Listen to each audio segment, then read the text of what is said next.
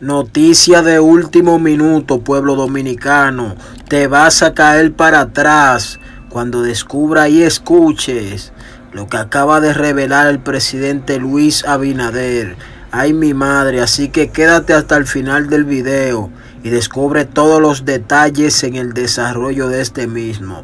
Bendiciones. El candidato presidencial del Partido Revolucionario Moderno, PRM, y actual mandatario Luis Abinader comparó este viernes su forma de administrar los recursos económicos del Estado Dominicano con la del ex gobernante Joaquín Balaguer. Abinader aseguró durante un acto de respaldo a su proyecto presidencial que sus gastos de representación son similares a los ejecutados en los periodos gubernamentales de Balaguer. Estoy seguro que si ven los gastos de representación del doctor Joaquín Balaguer en su momento, se compara a los pesos reales que nosotros también hacemos. Destacó que su decisión de no cobrar el salario y los viáticos correspondientes por su cargo se debe a su compromiso con el respeto erario público. Quien les habla respeta cada centavo del erario no cobra sueldo, ni tampoco gasto de representación, para dar un verdadero ejemplo, resaltó Abinader. Abinader firmó un acuerdo político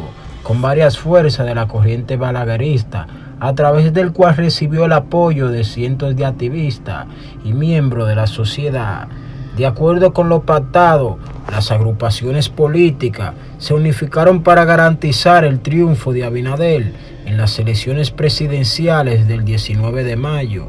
Además, según establece el pliego, buscan promover la continuidad de iniciativas que han dirigida al fortalecimiento de la protección medioambiental, soberanía y nacional y preservación de los recursos naturales del territorio nacional, al igual que la inclusión política públicas orientadas a promover el desarrollo de las mujeres, la juventud, entre otras medidas. Este acuerdo busca unificar esfuerzos para la continuidad sostenible de la República Dominicana, declara el documento ideado por Roy Acosta, Robert Acosta, Máximo Méndez, Santo Britos, líderes del movimiento involucrado. El aspirante presidencial aseveró que de resultar electo en los próximos comicios, culminará las obras iniciadas en este cuatrienio.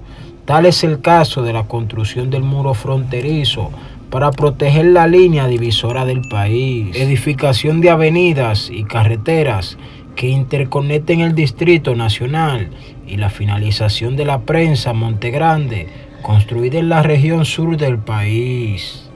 Por último, Abinader agradeció a los simpatizantes balagueristas su contribución política para así conseguir el triunfo en los sufragios de esta contienda electoral. Reitero mis agradecimientos a estos movimientos de sentimiento balaguerista que nos apoyan.